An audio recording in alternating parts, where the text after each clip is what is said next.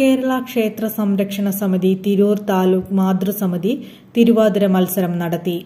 പൂരപ്പറമ്പ് തണ്ണീർ ഭഗവതി ക്ഷേത്രത്തിൽ വെച്ച് നടന്ന മത്സരത്തിൽ ബാല തരുണി പ്രീഡ എന്നീ വിഭാഗങ്ങളിലായിരുന്നു മത്സരാർത്ഥികൾ പങ്കെടുത്തത്.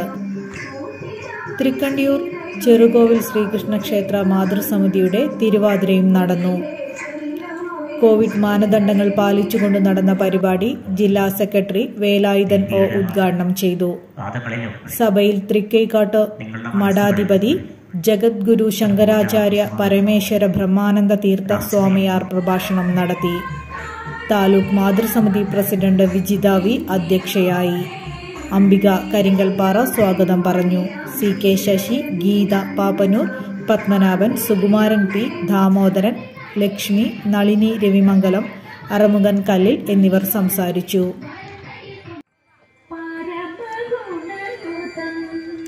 ന്യൂസ്